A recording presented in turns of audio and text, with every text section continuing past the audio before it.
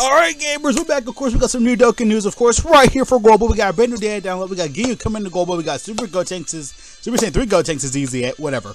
Uh, whatever. whatever. I'm too high for this. Super, Super Saiyan 3 Gotenks is easy. We got the new Krillin right here. That means we're going to get the Resurrection F story event stuff. We're going to get the freaking Goku Black easy that just came out for JP. We have a whole bunch of brand new assets. Ginyu, of course, got announced for Global a few, yesterday, day, today, whatever. Hey, 3 a.m. actually. oh boy, 3 a.m. That means Global can do it when JP comes out. They're gonna sync up and do stuff like this at the same time at 3 a.m. ha.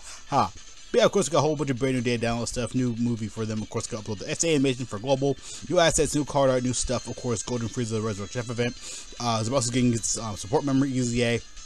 And then crying though, like I said, a whole bunch of brand new stages, assets, medals, etc., etc., etc., and just movie stuff though, of course, and Goku Ball ZTA. So yeah, we have a whole bunch of stuff. Legendary coin, a, a, tickets, EZA stuff. It's a whole bunch of new stuff here. It's crazy. But yeah,